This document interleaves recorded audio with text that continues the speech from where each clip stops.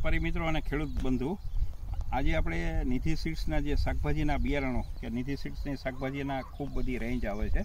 એમાં હવે શિયાળો આવી રહ્યો છે. તો ખેડૂત મિત્રો, ખાસ કરીને મૂળાનું વાવેતર માટે એનું બિયારણ ગોતતા હશે. તો આપણે નિધિની જે ચાંદની વેરાયટી અત્યારે આપણે ખેડૂત ભાઈને ત્યાં ઊભા છીએ.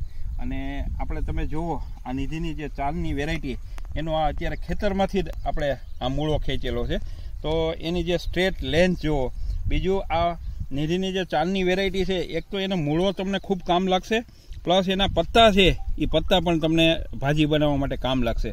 તો આ ખેડૂતનો આપણે ટૂંકમાં પહેલાં પરિચય લઈએ. ગોપાલભાઈ તમારો પરિચય આપો તો. મારું નામ ગોપાલભાઈ શંખારવા ગામ પીપડી તાલુકો લોધિકા જિલ્લો રાજકોટ. તો તમે જે આ નિધિના જે ચાંદની મૂળાઓ આવ્યા છે એ તમને કેવા લાગે છે? બહુ સારા છે. અને તમે ઘરે ખાવા માટે પણ ઉપયોગ કર્યો હશે. તો ખાવામાં પણ તમને મીઠાશ કેવી લાગે છે? બહુ સારી મીઠાશ છે અને સ્વાદ પણ બહુ સારો છે. અને હજી તો શિયાળો આવવાનો બાકી છે અને ગોપાલભાઈએ થોડાક વહેલા વાવ્યા હતા. લગભગ ગોપાલભાઈ કેટલા દિવસના મૂળા થયા હશે? આ ચાલીસથી પિસ્તાલીસ દિવસ તો પિસ્તાલીસ દિવસે આપણો આ મૂળો તૈયાર થઈ ગયો છે.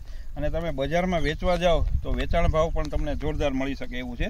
તો મિત્રો મૂળા નિધિના જે ચાંદની વેરાયટી છે એ નંબર વન વેરાયટી છે. તો ખાસ તમારે શિયાળામાં જ્યારે મૂળા વાવવા હોય, તો નિધિ ચાંદની વાવજો અને સારામાં સારું ઉત્પાદન મેળવજો. આભાર.